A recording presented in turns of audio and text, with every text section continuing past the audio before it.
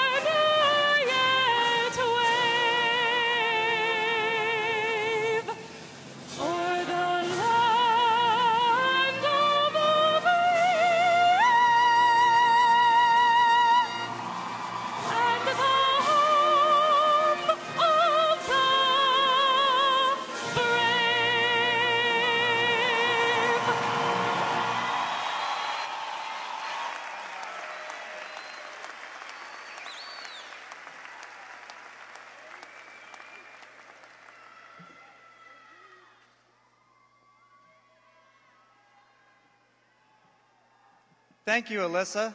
Please be seated.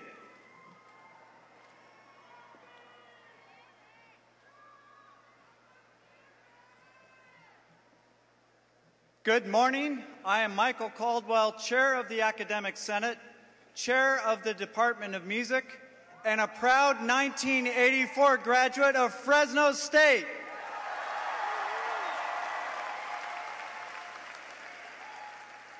In honor of the centennial class of 2011, we are pleased to feature the Fresno State Symphony Orchestra, conducted by Dr. Thomas Loewenheim. The creation of a world-class symphony orchestra has been a shared vision of Dr. Vida Samiian, Dean of the College of Arts and Humanities, the faculty of the Department of Music, and many generous individuals from the community. Please join me in thanking Dr. Loewenheim and his fine students for providing the music for today's ceremony.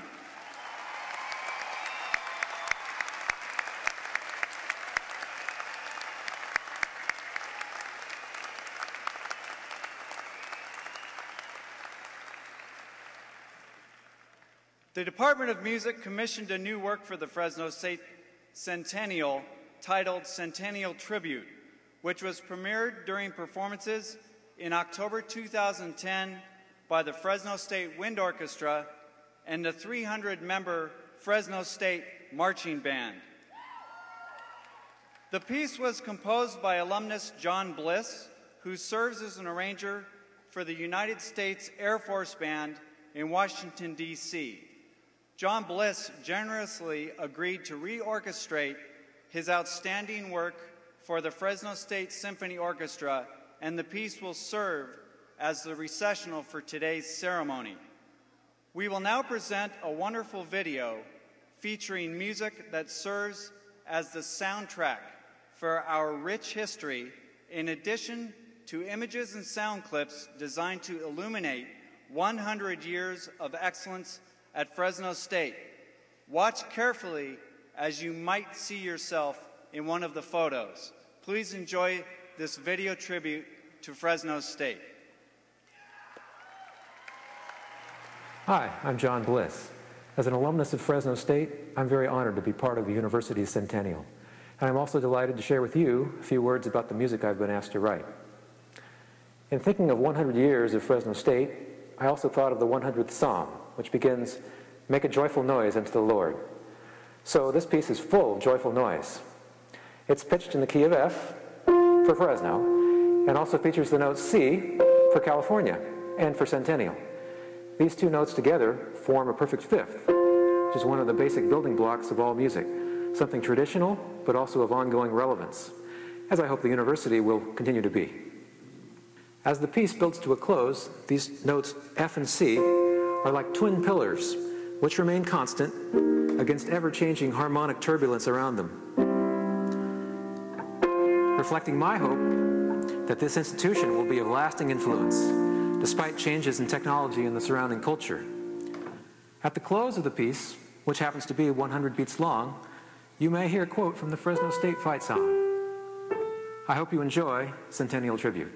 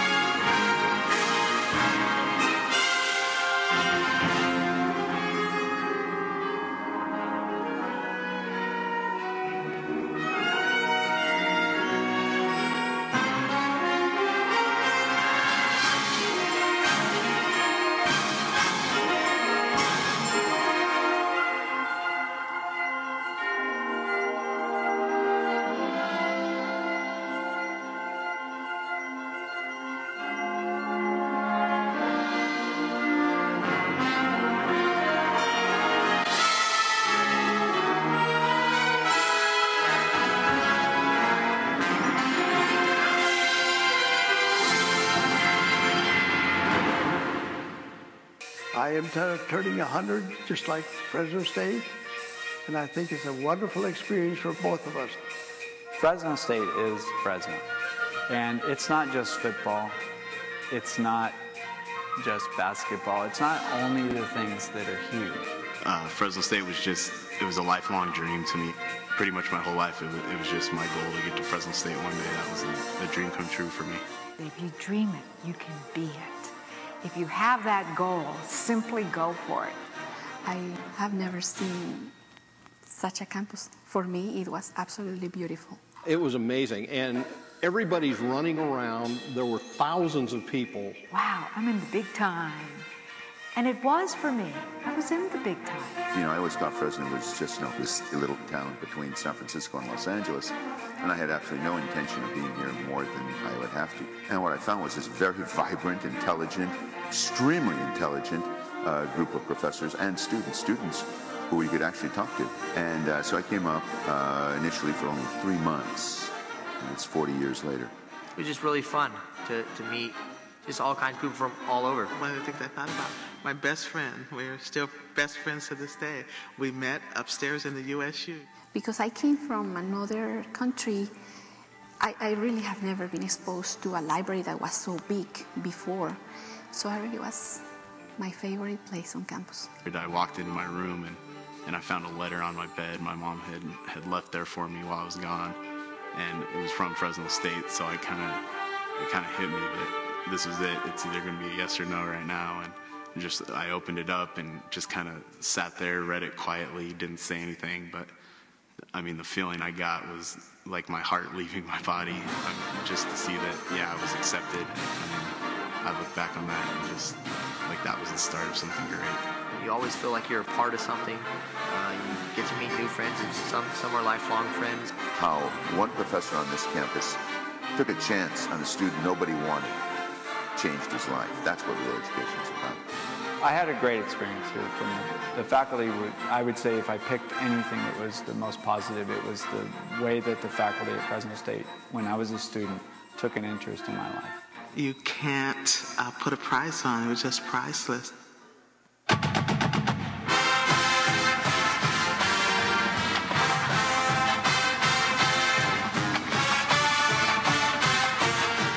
Yeah, I just, I remember being shocked at the first football game because it was intense. It was really electric.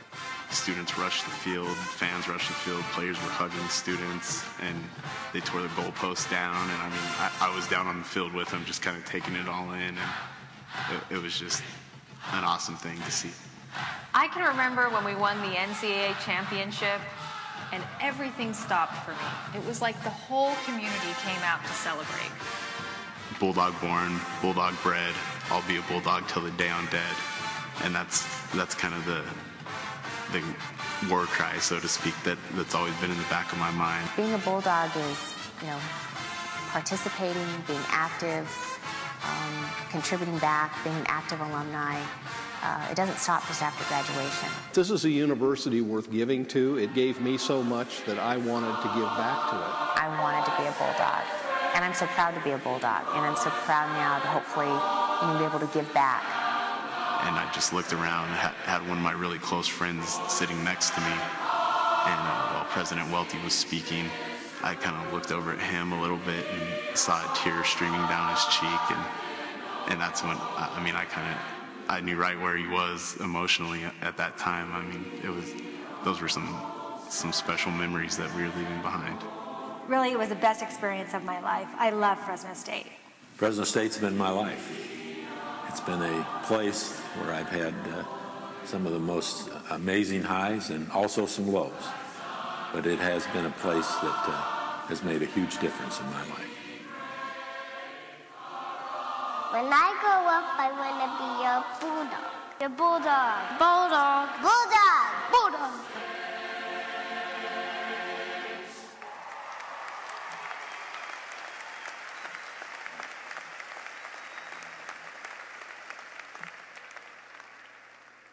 Good morning and welcome to the historic 100th commencement of California State University, Fresno.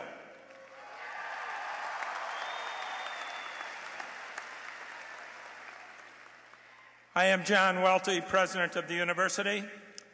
Congratulations to all of you, graduating seniors, graduate degree recipients, alumni, distinguished faculty, and very importantly, families and friends who have supported our new graduates throughout their academic careers.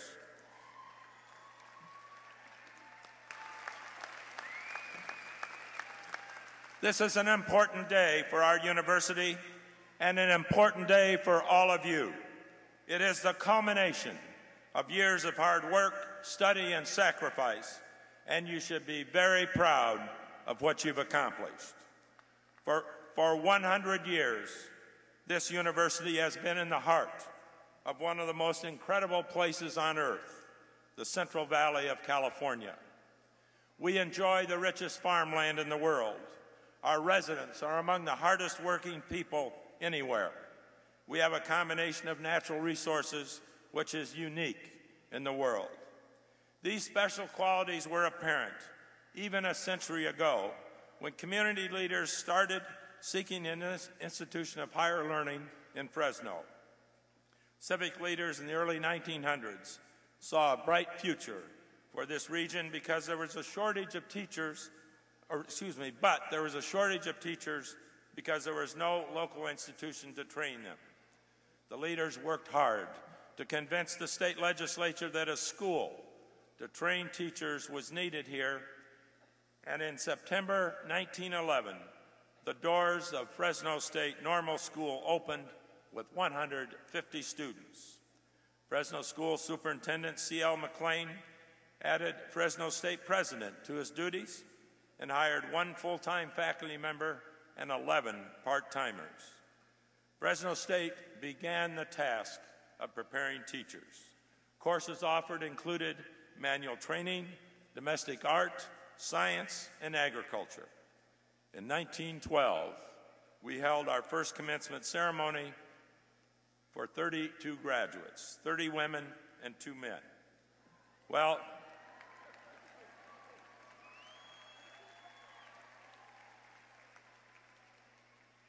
well, we've come a long way. Our centennial graduating class, you, totals 5,235 students at the bachelor's, master's, and doctoral level. Instead of just four course areas, Fresno State offers hundreds of programs and majors in 64 bachelor's, 44 master's, and three doctoral subject areas. Despite the changes, one thing remains constant.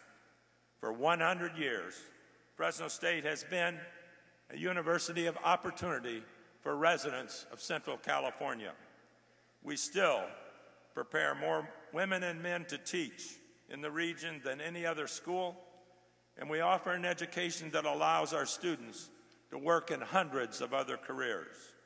Our graduates are teachers, agribusiness professionals, business and government leaders, artists, artists and musicians, historians and writers, engineers, scientists and astronauts, doctors, nurses, and social workers. These professions will serve you, graduates, if you choose to remain here or move anywhere else in our ever shrinking world. You took advantage of the opportunity provided you when you enrolled. Now, your future is forever changed for the better. As one of our graduates, you represent the best of Fresno State. You are how we will spark innovation and create new businesses. You are improving water resources, cleaning the air, and finding new sources of energy. You are solving some of the nation's toughest health problems. You care enough to give back to your community. As president of this great university, I'm so very proud that you, all of you, are Fresno State.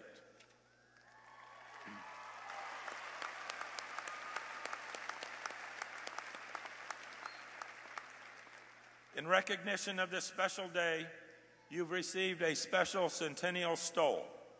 Wear it proudly, and remember that as a Centennial Year graduate and an alumnus of Fresno State, each of you has a golden opportunity to move ahead to achieve your vision for personal excellence.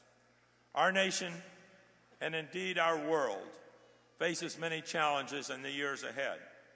You will be called upon to provide your talents, education, resources, and leadership to resolve some of the most complex problems that face us. Know that you will be called upon to do your part to make the world a better place. And as our newest alumni, I hope you will continue to participate in the life of the university. I urge you to give back to the university that has served you and work with us in the years ahead as we become truly one of the nation's great universities. This is your university, and as a centennial graduate, there will always be a special bond between you and Fresno State. And as we move into our second century, Fresno State will continue leading the way to serve and improve the lives of people in our region and California and throughout the world. All of us working together will make a difference. Congratulations, graduates.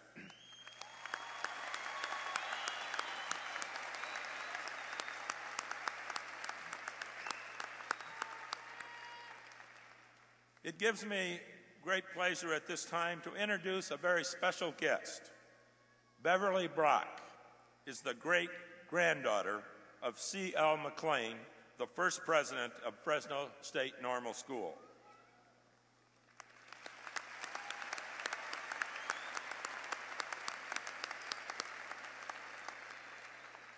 Although Ms. Brock erred and did not go to Fresno State, she did complete her work at a someplace called Stanford. We welcome her this morning to our Fresno State family as a representative of the founding president. C.L. McLane was an important figure in the development of public education in this region. In 1899, he became Fresno School Superintendent and a few years later persuaded the Fresno Chamber of Commerce to form a committee to advocate for a state normal school to train teachers. When legislation to establish the school was defeated in 1909, he redoubled his efforts. A law enacted in 1907 allowed high schools to offer two year college training. So McLane pressed for, and the Board of Education approved, what in 1910 became the state's first community college, Fresno Junior College. McLane served as president as he continued to supervise Fresno elementary and high schools and promoted the normal school campus. His advocacy paid off with the passage of state legislation establishing the Fresno State Normal School. McLane added his presidency or its presidency to his obligations and president as school superintendent and president of Fresno Junior College.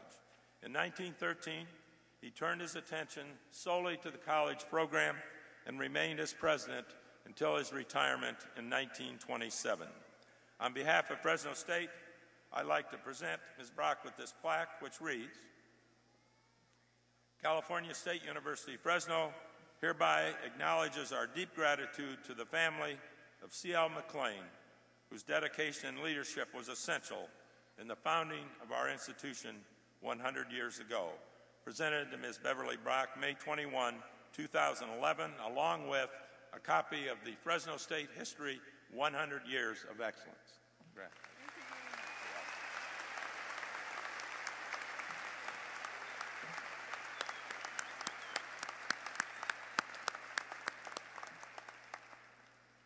For our graduates, today marks the beginning of their careers. At the same time, this morning marks the ending of prime teaching careers of a number of faculty and administrators who are retiring and who are being honored by the conferral of emeritus status. I'd like to draw your attention to our video board where the individual names of emeriti faculty will appear. In addition, emeriti faculty are honored at various academic ceremonies and at a luncheon which is held each year in their honor. With those emeriti faculty who have joined us, please stand so we may recognize and ex- express our appreciation for your years of dedication and service to California State University, Fresno. Our best wishes to you.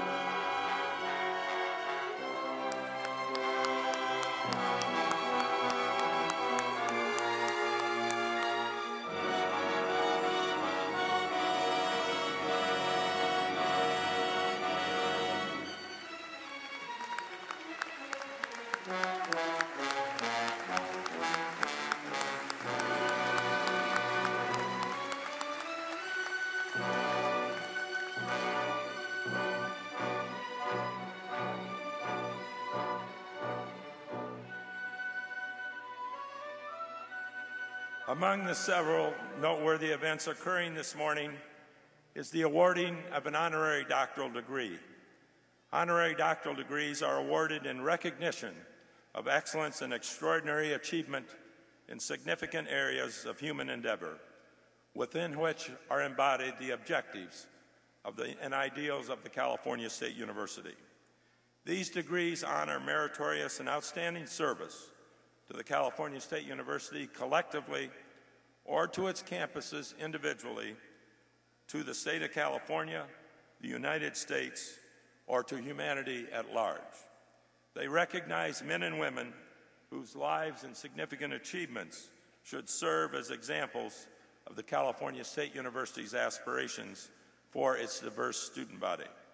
I wish to ask Trustee Peter Mehas to assist me in the conferral.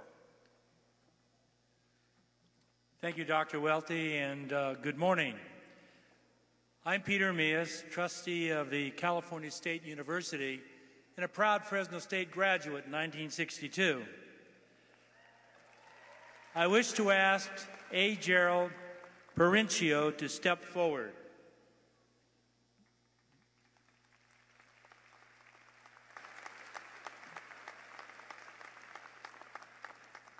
A. Jerrold Perenchio grandparents immigrated from Italy to the United States and eventually settled in Fresno in 1920 and owned the Fresno Grape Exchange and the Crestview Winery.